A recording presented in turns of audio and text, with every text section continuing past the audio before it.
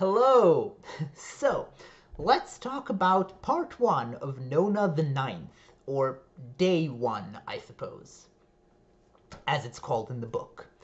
Um, so, not a ton happens in this section. I really, there still really isn't any plot going on at this point. So, I have no way of predicting where this is going. Um, so I also don't have much to say about what happens here because, again, nothing actually happens here. Uh, but that doesn't mean I don't love this section. In fact, I think this is my favorite opening to any one of these books so far. Um, by the way, for those who are new here, uh, full spoilers for this section uh, and all previous books going forward from this moment on. Um, I will be spoiling everything that happens in the section that I read. Um, so, uh, we have a really surprising setup here. So I knew, we knew from the end of the previous book that whoever Nona is, like from the epilogue of the previous book, we knew that whoever Nona is, she's living with Camilla and two other people.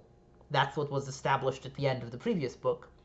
And she's living in a place that feels a lot more like just normal human world than anything else we've seen so far in the Locked Tomb. And this book kind of throws us headfirst into that with a bunch of things that massively recontextualize that information that I just gave. So first of all, the other two people that uh, Nona is living with, in addition to Camilla, are Pyra, who is in the body of Gideon the First, um, and Palamedes, who is sharing Camilla's body with Camilla. Which is so much already. Like, just those two facts are incomprehensible. Uh, like, we knew Pyra was around uh, in Gideon's body. How she ended up here, we still don't quite know we knew Camilla was around, and we knew Palamedes' ghost was around. Uh, the fact that he's living in Camilla's body is new. And the fact that they're all raising a child together is exceptionally new. Especially when we get into the discussion of that child's identity, which we will get to in a moment. Um, but the first thing I noticed about this is that while technically, technically, Pyra, Camilla, and Palamedes are all, as far as we know, cis characters. They are now the world's most trans cis characters who have ever existed because we have Palamedes who is sharing part time the body of a woman, and we have uh, Pyra, who is literally living inside the body of her male best friend.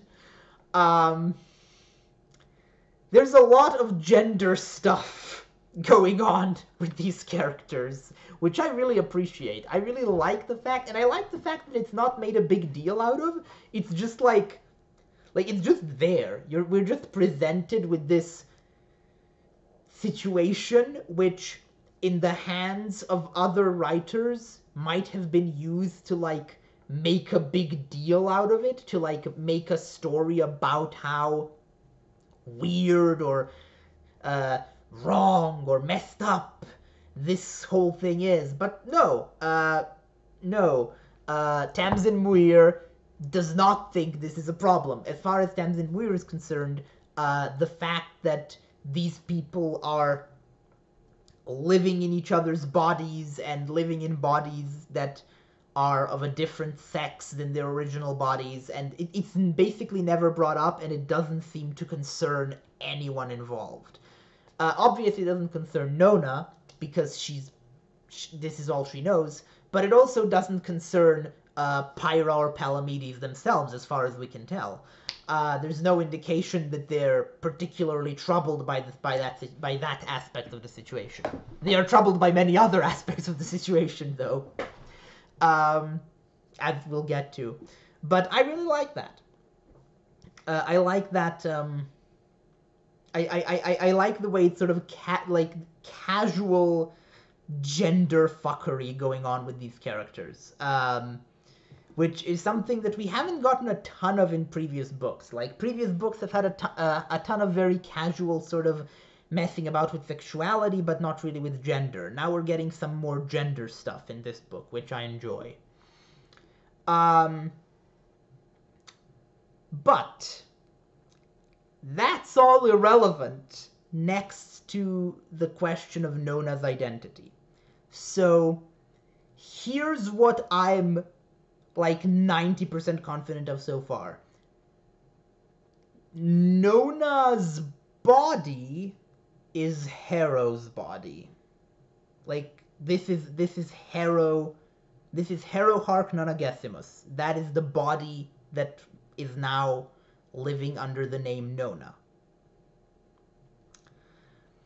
Her eyes are Gideon's eyes, by which I mean Gideon and Nav, not Gideon the First.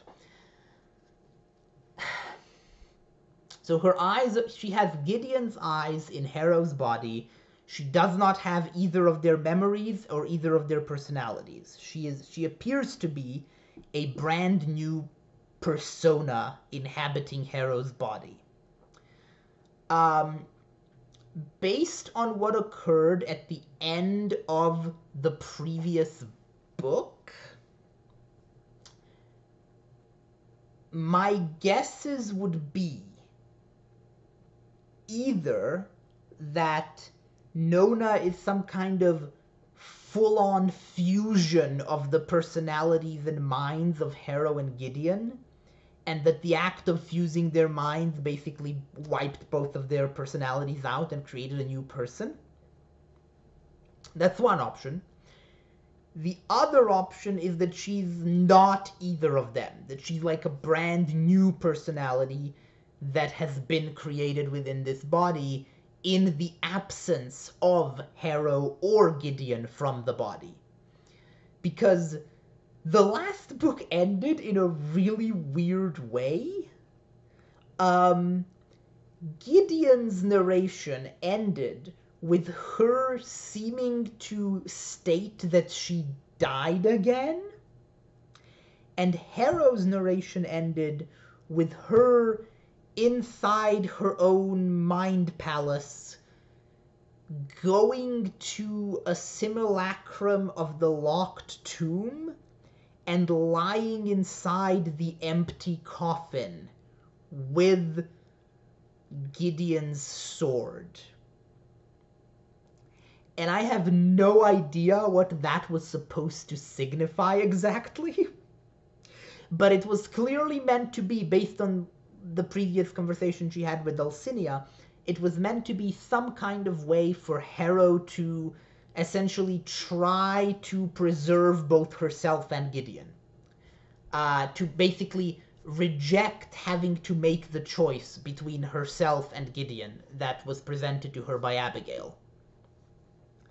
Um, so I don't know what she did, but whatever she did clearly created Nona in some capacity. Whether Nona is made up of Harrow or Gideon or both or neither, I can't really tell. Mm.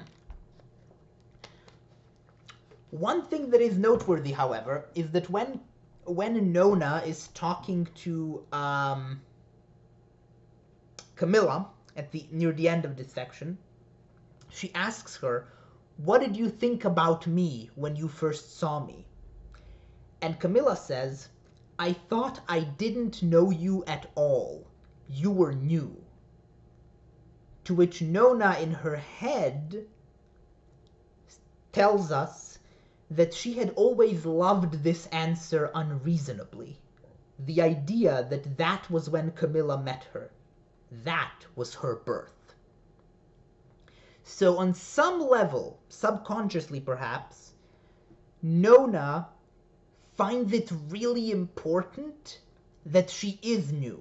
She does not want to have continuity with either Harrow or Gideon, I think. She wants to be something else. And I presume that the reason she wants that is because on some subconscious level, whoever she is, whether Harrow or Gideon or a combination of both or some third entity, also wants that for more clear reasons that will event that we will eventually learn. Um, and that kind of honestly that would mesh with both Harrow and Gideon because both Harrow and Gideon are well known for having not the best opinion of their own existences and their own lives. Uh, um, I can easily imagine either of them wanting to no longer be who they are, wanting to be new, to be someone completely new. So that doesn't really narrow it down, but it is an interesting line.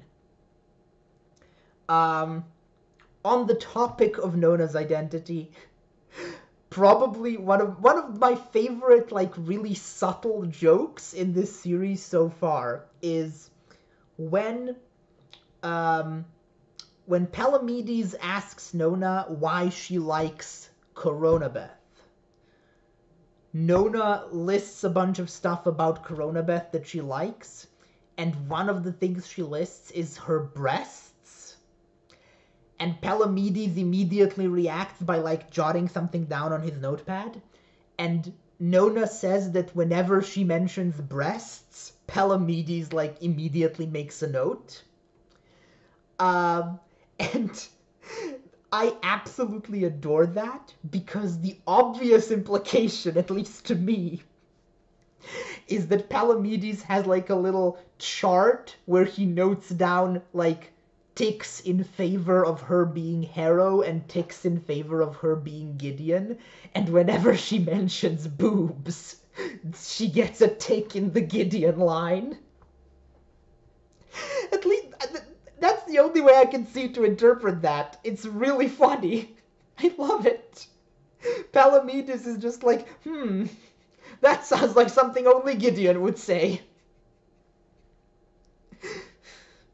I, I, I love that.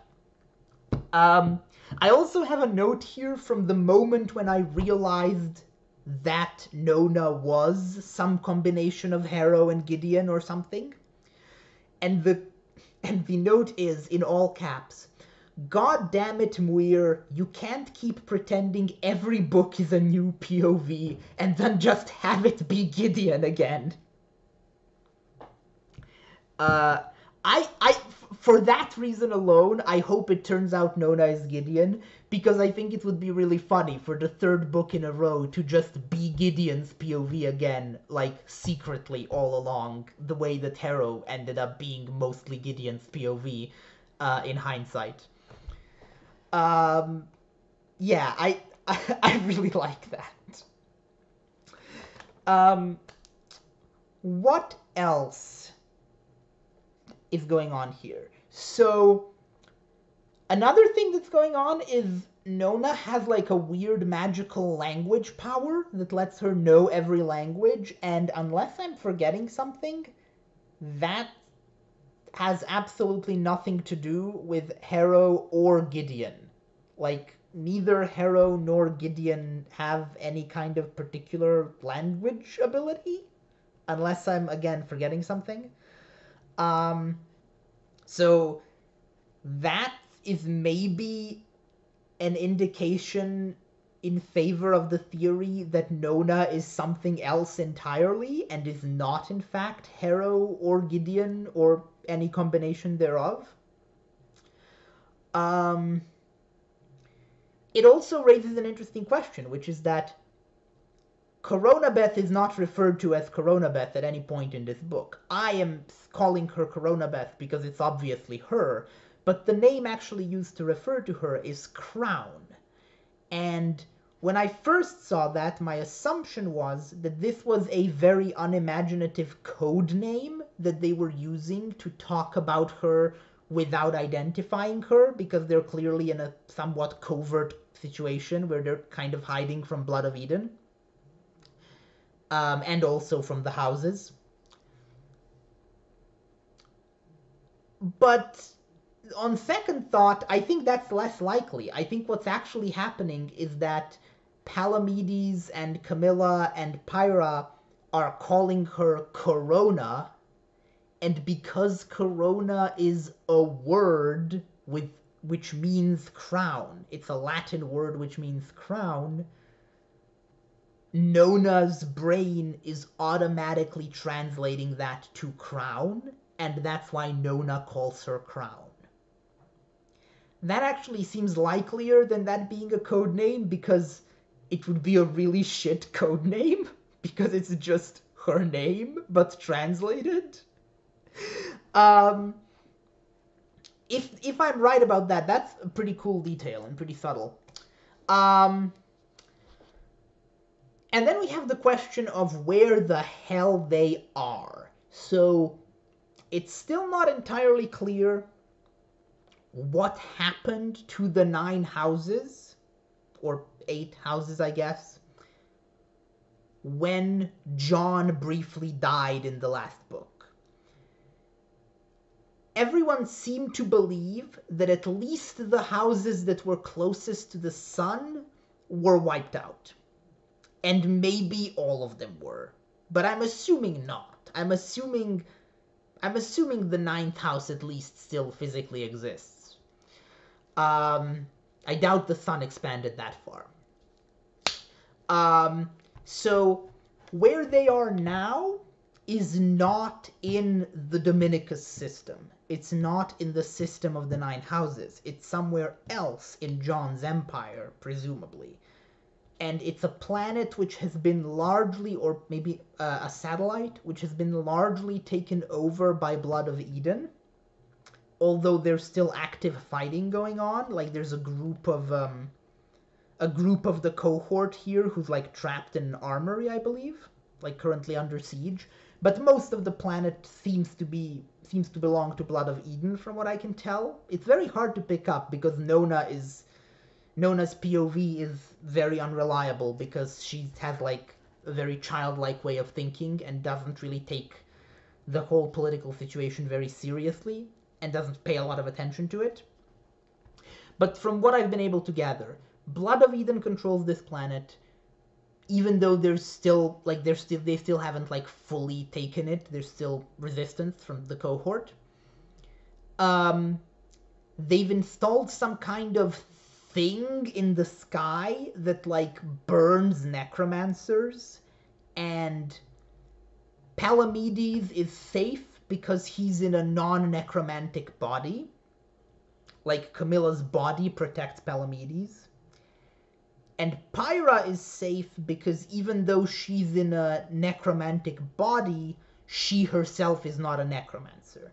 Which seems to imply that whatever this thing is, can only target you if both your body and your soul are necromantic.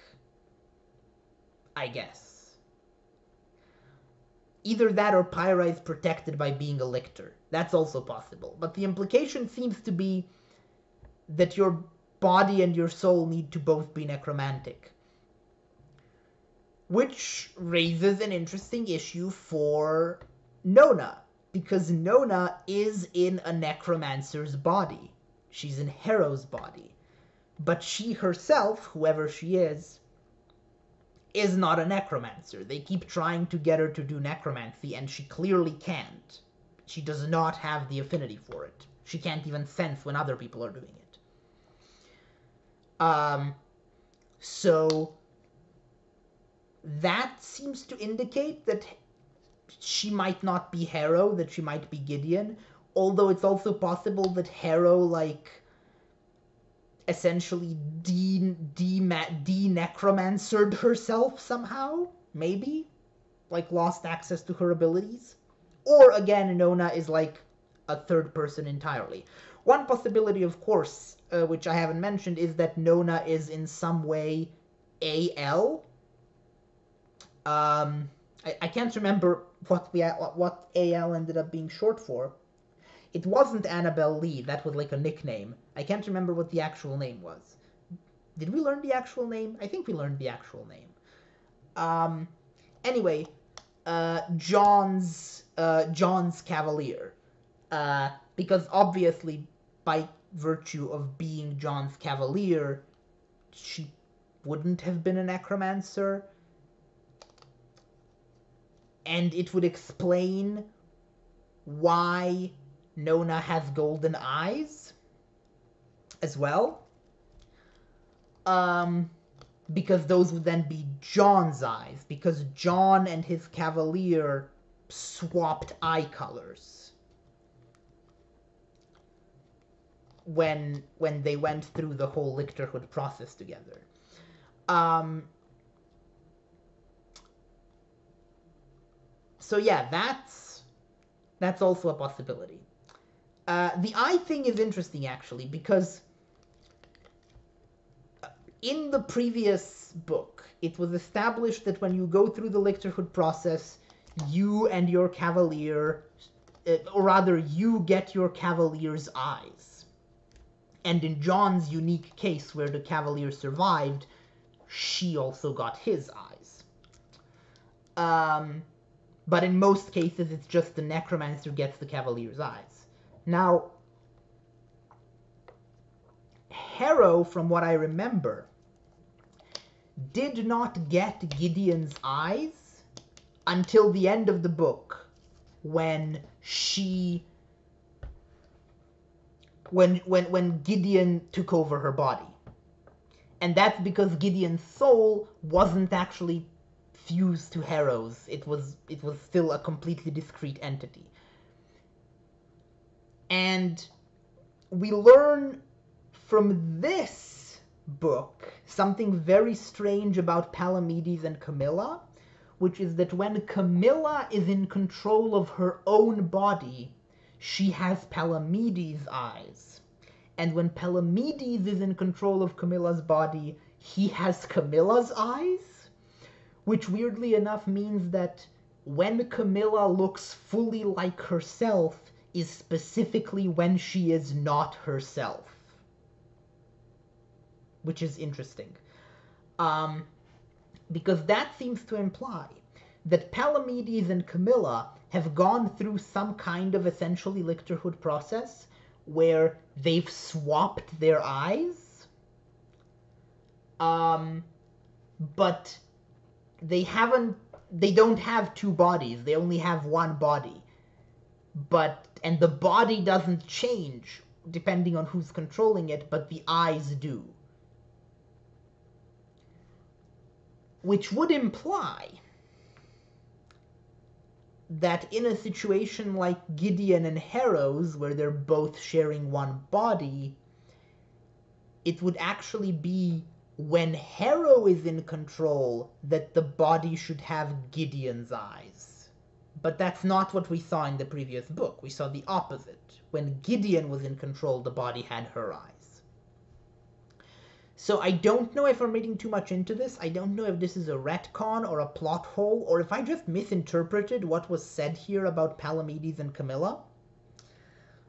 Um, so I'm not going to read too much into it because I don't know if I'm even right about the basic facts. I'm just putting out there that I am constantly thinking about the eyes and I am very confused about what is going on there. Uh, I also keep thinking about the possibility that that Nona isn't even Harrow's body at all, and that that's a red herring, that we're supposed to think that she's Harrow's body, but that she's actually AL, like fully AL, like her body and her soul, like completely unrelated to Gideon or Harrow somehow? Maybe? I don't know. There's a lot going on here, and I'm. My brain is soup. Uh, so let's talk about something else. Um, there are these weird intermission sections where we get John telling the story of what happened, how life on Earth ended, how this whole setting came to be. Um, telling that story to apparently Harrow, like he keeps calling her Harrow, the person he's talking to. Um, but he also seems to be saying that the person he's talking to, Harrow, was involved in the end of the in the end of the world, like that she was a major player somehow. She uh, she was the way they talk about it, it kind of sounds like she had some kind of disease that was going to destroy the world, and they were trying to cure it, stop it, do something to it. I'm not sure. It's very weird. Um, I I don't know what to make of those at all. Like out of every out of every already extremely confusing thing in this book, those little intermission chapters are by far the most confusing. Um anyway, uh the other thing I wanted to say is that just the way this is written really appeals to me. Nona is just a delightful point of view character, and I am enjoying reading her honestly more than I ever enjoyed Gideon or Harrow. I, I liked Gideon and Harrow both as point of view characters, but Nona is just such a delightful breath of fresh air. There's such a mixture of like this like innocent directness and literal mindedness to her, but then also sometimes the way she thinks is super indirect and super like like there's so much depth to it and you can read meaning into it a lot. I just really enjoy it. It's it's it's a really really really appealing uh narrative voice to use for this book. Um the uh, let's see some other minor notes i have um nona's relationship with the other kids is great and I hope nothing happens to the kids, even though I'm sure it will, because we can't have nice things in Locked Tomb books. It always ends in tragedy. Um, but I really like the kids, and I hope they're safe. Um, next, Palamedes convinced the Sixth House to break from the Empire, maybe? like the entire sixth house, if I understood that correctly. And now they've lost them. Like they they don't know where the sixth house is. There's talk of trying to find the sixth house. Huh? What? Um. Oh, by the way, speaking of the sixth house, I did read the study of Dr. Sex, the, the free short story on Tor, on, on Tor Books' website, which is about uh, Palamedes and Camilla as kids in the sixth house. Uh, I don't have many thoughts on that story as of yet. Um, but I do, but as a result of that story, I do have a bit more of a personal connection with the sixth house than I do with some of the other houses because we, because you know I've I've read a little bit of a narrative set there. Um, so I'm glad that they're alive. I'm glad that that house seems to have survived. Um, yeah, I think I think that's all I have to say. This was maybe the most chaotic and unorganized video I've ever made, but that's because of the nature of this book it's just nothing happened, and yet there's so much. There's so much to talk about in this one tiny section. Um, yeah, s- see you next week for day two, I guess. Help! Help!